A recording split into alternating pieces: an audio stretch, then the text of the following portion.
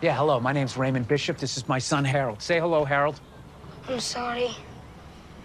What's going on? Well, it seems your son was down in the woods giving out free tattoos, and my son was one of his victims. What? Well, I, I don't understand. How do you know it was my son? How'd you get this address? I have my ways. Believe me, I have my ways. Are you a cop? No, I'm a fireman, okay? I work for a living. Look at this. Do you believe this? You see that there? See that line? I don't know if you burn these off or what, but we're taking care of this and you're paying for it. You understand me? I don't know what this is. Oh, I am. I'm so sorry. I, I, I. There's an aesthetic laser at the hospital where I work, and it can completely remove it. I, I get a discount. I'm, I'm going to pay for the whole thing. I don't know what I'm saying. I'm. I feel terrible. You should feel terrible. Look at that. What's that? Oh, fuck.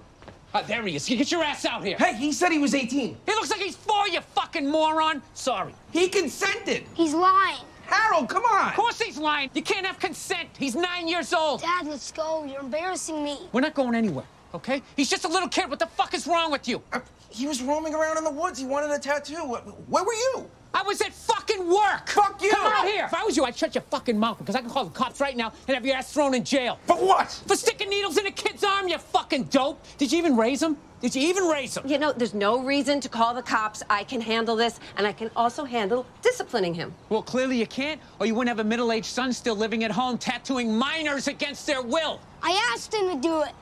It's not his fault. That's right. That's Go my wait in the car. Harold, go on. And don't raise your voice at me either. Later, Harold. Don't say goodbye to my kid. Look both ways. Look both ways! Go to your room. Watch your mouth. For your information, I am not a middle-aged man. I'm a 24-year-old man, and I'm going to my room because I fucking want to.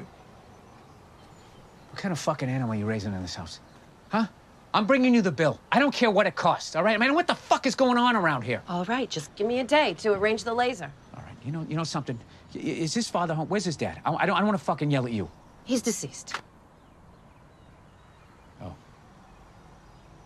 Well, uh, I'm uh, sorry for your loss.